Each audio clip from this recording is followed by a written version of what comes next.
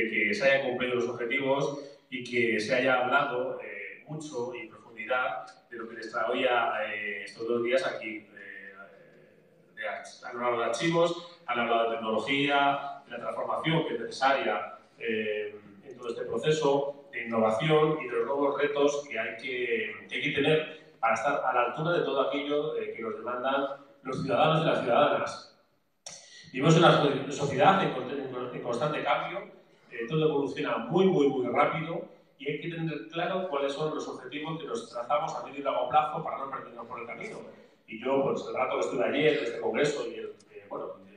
he estado hoy aquí, eh, he visto que, que, tenemos como, como administraciones claro hacia dónde tenemos que ir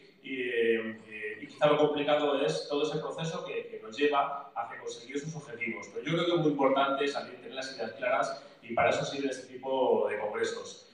Yo que tengo una cierta experiencia en el plano político, en, lo que es la gestión de, la, de, una administración y que sé un poco cómo funciona la parte de recursos humanos, hacienda, contratación, sé que, que, todo luego es muy complicado de hacer, que tenemos todos eh, plantillas y relaciones de, de puesto de trabajo anquilosadas, sé que la definición de todos y cada uno de los puestos de trabajo no se ajusta de verdad a las necesidades que tenemos en,